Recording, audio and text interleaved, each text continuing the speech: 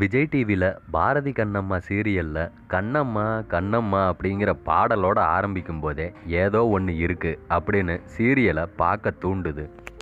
கருப்பு நிறத்தில் இருக்க கண்ணம்மாவை டாக்டர் பாரதி காதலிச்சு கல்யாணம் பண்ணிக்கிறான். இவன் அம்மா சௌந்தர்யாவுக்கு கருப்புனாலே ஆகாது. அதாவது மனிதர்கள் நிறத்துலையும் கருப்பு மேலே அவங்களுக்கு சுத்தமாக வெறுப்பு தான் சொல்லணுமா? கண்ணம்மாவை கண்டாலே பிடிக்கல. கண்ணம்மாவோட சித்தி பெண் அஞ்சலி மிஸ் மெட்ராஸ்.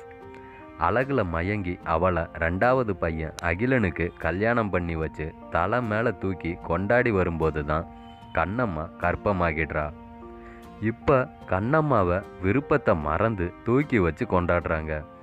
இங்கே நிற்காத அப்படி நடக்காத மாடிப்படி ஏறக்கூடாதுன்னு பார்த்து பார்த்து கவனிக்கிறாங்க. இந்த பொண்ணுங்க அந்த நேரம் பார்த்து தான் ஸ்டூல் போட்டு பீரோ மேலே இருக்கிறத எடுக்கிறது உயரத்தில் இருக்க மளிகை சாமான் டப்பாவை எடுக்கிறதுன்னு ராசாவின் மனசில் மீனா கணக்காக துடுக்குத்தனம் பண்ணுவாங்க.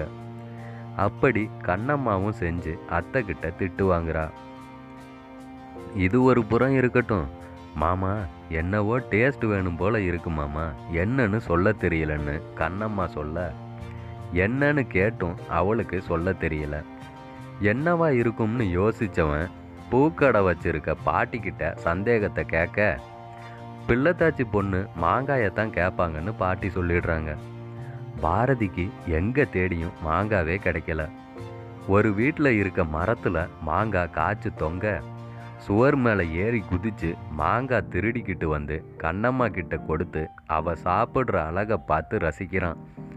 ஒரு கையில் திருட்டு மாங்காய் இன்னொரு கையில் மல்லிகைப்பூ அப்படின்னு பாரதி அசத்த அவன் மாங்காய் திருடுனான் அப்படிங்கிறத சௌந்தர்யா அம்மா சொல்லி சொல்லி ரசித்து சிரிக்கிறாங்க.